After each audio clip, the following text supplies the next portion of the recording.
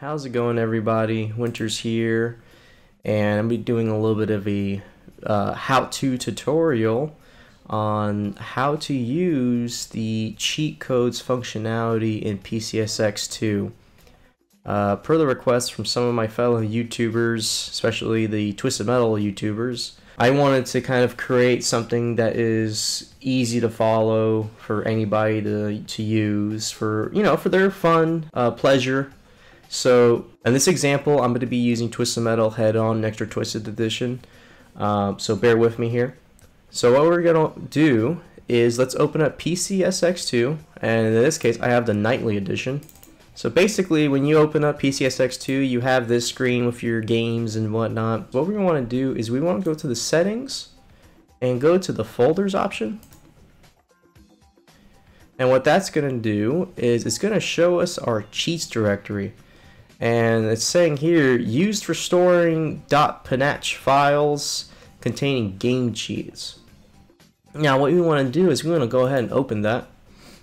Now, depending on who you are, uh, if you never used this before, this might be empty, and that's okay, because I'm going to show you how to um, get this all set up. We're going to leave this open for right now, and then what we want to do is close out of the that uh, folders tab or window. So what we want to do is we want to go to the Tools tab, and we're going to enable System Console.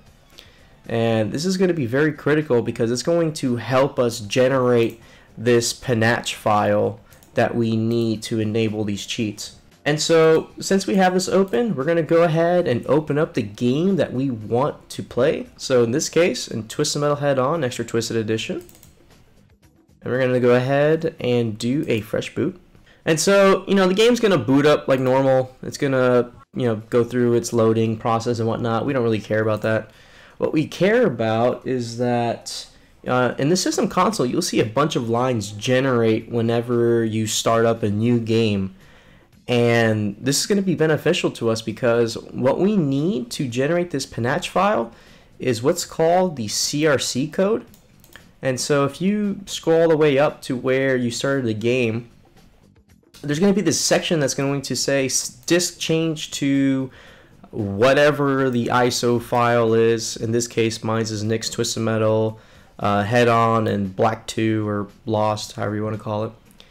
And it's going to identify the name of the game, extra, you know, Twisted Metal Head On, Extra Twisted Edition, the serial, the version, and the CRC.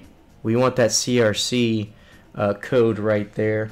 And so after we find that CRC code, uh, that window that we have opened earlier, we're going to go ahead and click, right click. We're going to click on new text document. Uh, in this case, we're going to name this text document. I'm going to enable caps lock because I believe this might be case sensitive. I haven't tried it out, but we're going to name it 3DC2FE45. And while we're here, what we also need to do is we need to change the file extension for this text file. So we're going to go ahead and change this. Whoop, disable caps lock. We're going to change it to .pnach. And Windows is going to say, hey, you changed the file extension. Are you sure about that? We're going to say yeah, because we know what we're doing. And if you can't see the file extension, uh, if on this folder or on this window, you can go ahead and go to the View tab, click on File Name Extension, and you can see it there. Um, so now that we have that, now is it is time to use the uh, codes that we want to to kind of you know alter our game. So we're gonna go ahead and double click, and you're gonna notice this is just empty. And I apologize for the mess because uh, it can get messy a little bit. Yeah, we have this window open. How do we input our codes to make modifications to the game so that way we can have some more fun? And so in this example, so we have this code here that is the generic weapons rapid fire code. And this is raw, this is a raw code that we have. And if we input it like this, the emulator is not going to know what to do with it. Um, what I found out is that it needs to kind of be in a certain format. I'm going to go ahead and copy and paste this just for the sake of timeliness. And so this generic weapons rapid fire code that we have here, basically we need it to make it look like this. This part of the code is right here and this part of the code is right here. Basically, we have to put raw code in this format so that way the PCSX2 emulator knows that this code is available for use and that way it can implement it into the emulator. Okay, and so what we're going to do is, you know, we have this rapid fire uh, generic code and we're going to go ahead and save that. So do control S or file save. And so what we're going to do is that after we put in the code that we want and we saved it we're going to go ahead and go to settings and go to emulation. And we're going to go ahead and make sure that enable cheats is selected. So that way the emulator knows uh, hey can you turn on these cheats please and the emulator is going to be like yeah sure and so you can see here that um, in the system console it's going to tell you hey you have some cheats activated just letting you know which is good. That's exactly what we want.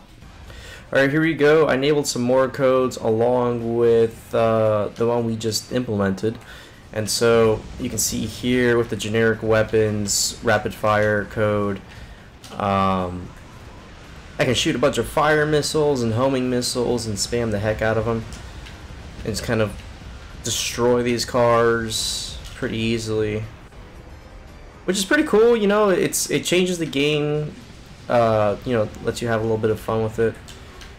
And so, yeah, just destroying these cars, shooting a bunch of power missiles and some ricochets. So we know the code works. We know it's uh, it's good. And if we want to implement more codes, then you know, just a matter of finding them on the internet and just putting them into the game.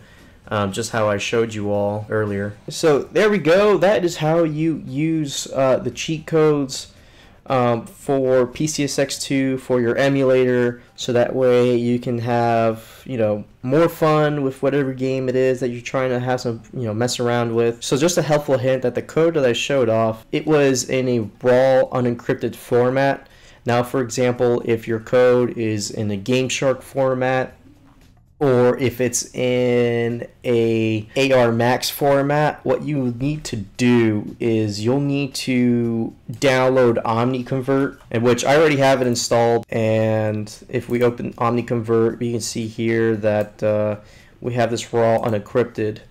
And you can change the input and the output on this. I'll provide a download on where to where to install this. So you can see here that generic rapid weapons rapid fire this raw unencrypted code.